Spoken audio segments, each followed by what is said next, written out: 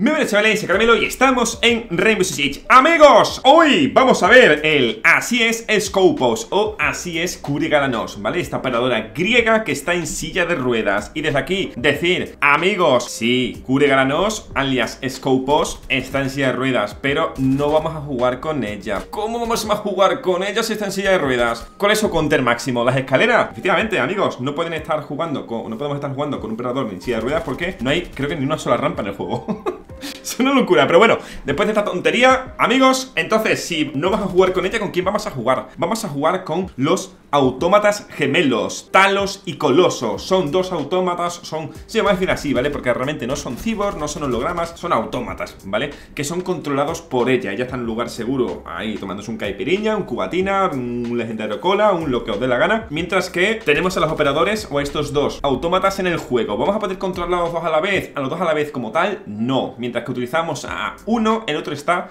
totalmente estático detrás de un escudo que él mismo despliega, ¿vale? Es decir, vamos a ir por orden, ya que tenemos ante nosotros a una defensora griega y su rol literalmente es la de romear. Es un romer, pero es un romer distinto, porque no entra dentro de esa función de romer como tal, al menos no tan estricta. ¿Por qué? Porque en el momento que nosotros vamos con uno de esos autómatas fuera del punto, nos convertimos en romer, pero tened en cuenta que el otro autómata está metido en punto. ¿Y qué pasa? Que en cualquier momento podemos transferir nuestra conciencia del autómata romer al autómata ancla. Y literalmente es como teletransportarse, ¿vale? Puedes teletransportarte desde donde estés a tomar por saco, no hay un límite de distancia, puedes, si quieres, ponerte con uno en una punta del mapa y con el otro en la otra punta del mapa, a 200 kilómetros. Si le das a transferencia, te vas a transferir de uno a otro. El otro se mantendrá totalmente a salvo detrás de un escudo balístico, que al final tiene las mismas reglas que un escudo desplegable, es decir, es inmune o es blindado a balas, pero puede ser destruido a explosivos. En el momento que le tiran, imagínate, un pepo, una granada a este escudo, el escudo se rompe, pero el autómata que está detrás sigue ahí. Y ahora bien, duda,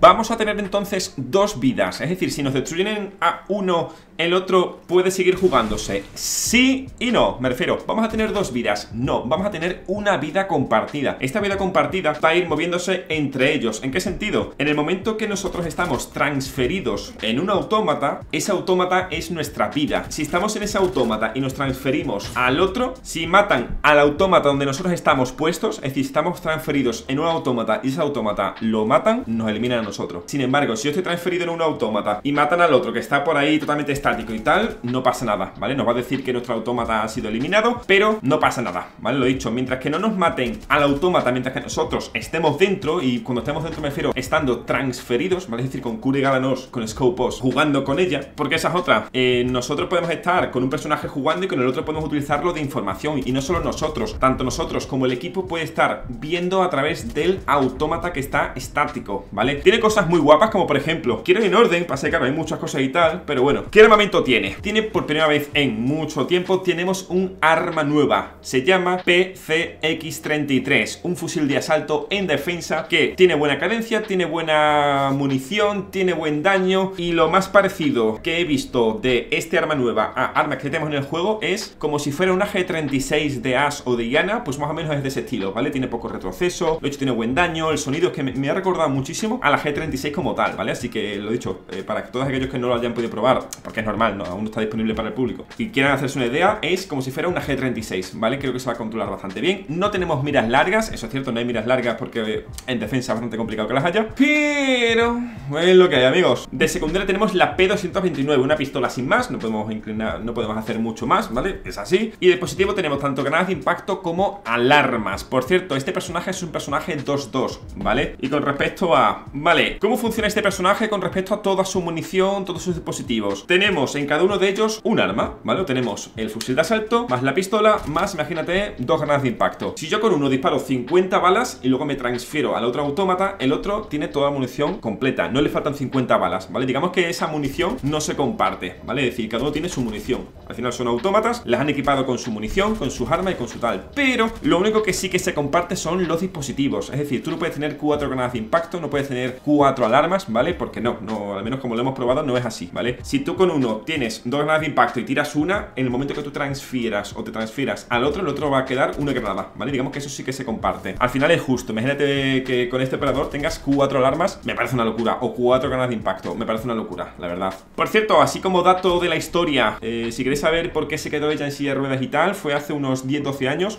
justamente en esa cinemática que vimos de Deimos con su compañero, que fueron a eliminar no sé qué cosa, no sé qué vaina y tal, y una explosión, pues ella parece ser que estaba por ahí, ella se quedó en silla de ruedas, ella pensaba que había perdido a sus dos mejores o dos de sus mejores amigos, pero no, luego resultó que no, que uno de ellos estaba salvo y descubrió que ese que estaba salvo era justamente Deimos y desde entonces lleva mucho tiempo intentando perseguir y capturar a Deimos, ¿vale? O sea que son ahí, eh, digamos, el lore está ahí mezclado, ¿vale? Pero bueno, ahora ya un ahí un poquito de chapa, vamos a ir con los counters. ¿Qué counters tiene? Vale, Las PENs es más que obvio que le afectan, pero muchos pensaremos, vale, es un autómata, es un robot, es decir, es algo electrónico. si le tiramos algo que lo que hace es desactivar todo el electrónico, se desactivará, morirá. No, ¿vale? ¿Por qué? Porque han hecho ahí, para que no sea tan roto, que tenga unas contramedidas para que el momento que le tiran una PEN le va a afectar como a cualquier otro operador, ¿vale? Es decir, a lo mejor en la mira reflex no va a tener el puntito, va a tener un poquito ahí de interferencias con respecto a poder transferirse a su compañero, que esa es otra, cuando estás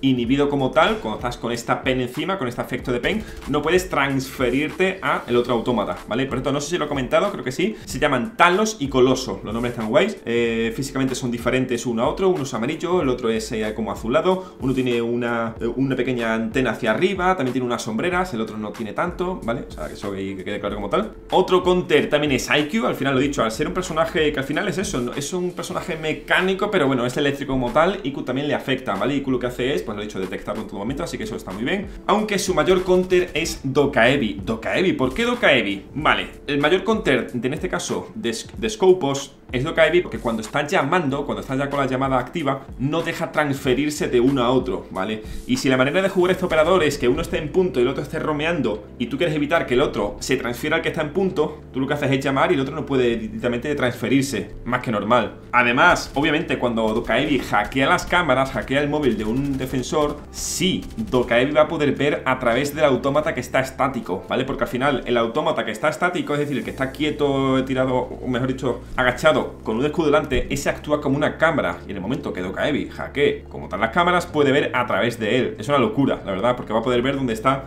situado en ese caso el estático. Es una locura, la verdad, me parece bastante guapo esto. Otra cosa, al final es algo eléctrico, es como un drone, etc. ¿Brava puede hacerle algo? Pues sí, Brava es bastante counter también de este operador, aunque solo es muy counter del autómata que está estático, ¿vale? ¿Por qué?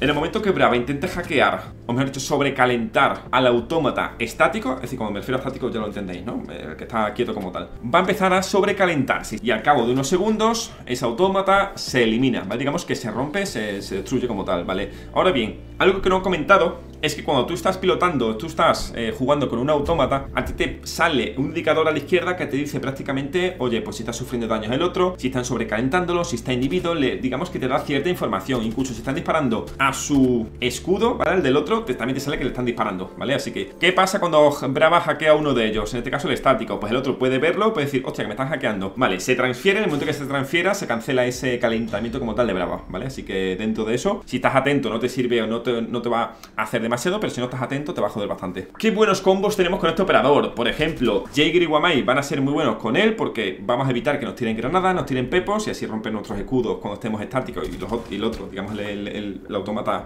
jugador va a estar por ahí. Es un buen combo el que tengamos un Wamai y un Jagger cerca. También un Mute y un Mozi para evitar que vengan drones, que vengan, pues lo he dicho, que vengan drones, ¿vale? Porque al final, que vengan flores ahí y nos exploten los GT, eso no es nada bueno, ¿vale? Pero eso es un buen counter. Otra cosita, el cristal del escudo se puede quebrar, ¿vale? Es decir, cuando estás estático despliegas un escudo, ¿vale? ¿Qué pasa si ese escudo se rompe? No tienes otro, ¿vale? O sea, si ese escudo se rompe vas a ver literalmente como el personaje se queda así, ¿vale? Como en una postura de Hola, ¿qué tal? Buenas tardes, ¿vale? Y luego cuando quieras volver a hacerlo de nuevo, ¿vale? El que quieras transferirte de nuevo, igualmente se va a quedar así, como si tuviera el escudo delante, aunque no lo tiene Ahora bien, tú si te pones delante puedes romper el escudo, o mejor dicho, puedes quebrarlo, ¿vale? Al igual que ocurre ahora con los escudos desplegables, que le metes así desde, bueno, de cualquier lado al cristal y el cristal se quiebra, ¿vale? Pues eso, ¿vale? Que se puede quebrar Y lo dicho, al final actúa como si fuera... Tiene las mismas reglas que los escudos desplegables, ¿vale? Prácticamente. Te puedes poner eh, delante de una puerta que vas a taponar la puerta por completo, esas cositas. Algo que es normal, es bastante lógico, es que no puede curarse ni con Doc ni con Thunderbolt. ¿Por qué? Porque al final no es humano. ¿Cómo va a curar con una hipodérmica o con algo que te da vida? Algo que no tiene vida como tal, que sí que tiene vida. Un blindaje 2-2, creo que tiene 110 de vida,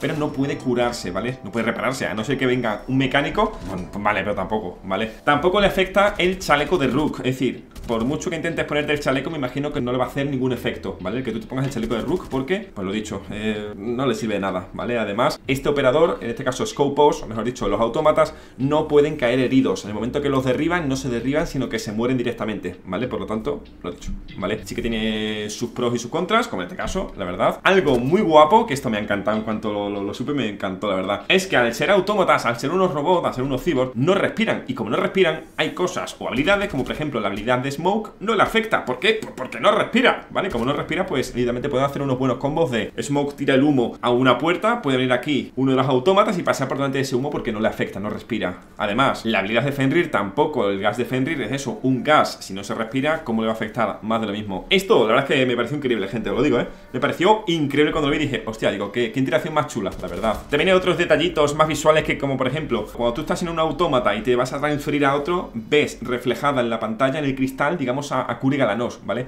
La ves ahí así como sentada, ves ahí a Kuri Galanos reflejada en el cristal. Algo bastante guay, chulo. Lo he dicho, no, no afecta demasiado en absolutamente nada, pero es un detalle bonito. Y gente, en resumen, esto es literalmente Scopos. Es un poco locura al principio. El cómo se va a utilizar este operador. Obviamente, se puede utilizar de varias maneras, que de hecho ya habréis visto un gameplay jugando con, con él, sí, bueno, con ellos, en el que podemos utilizar dos maneras. Uno, de información, ¿vale? De, venga, me voy a quedar yo con este automata aquí estático, me quedo justo detrás, me pongo a ver a través de este con la cámara y luego me pongo a hacer wallbang. Eso es una manera, ¿vale?